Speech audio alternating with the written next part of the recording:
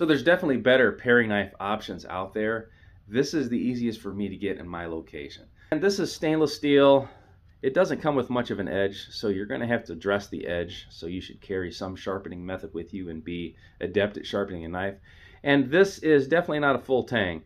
It's still plenty of knife, and for its ease of accessibility, I would definitely go with it. So because this is the easiest knife to get, and you can plan ahead and actually carry a sheath for this knife. So this is a Kydex sheath I made. So I can fly with this sheath and then plan on picking up a knife like this when I get to my destination. And I can throw this away when I'm done. I can give it to a friend. Uh, a lot of different options with this.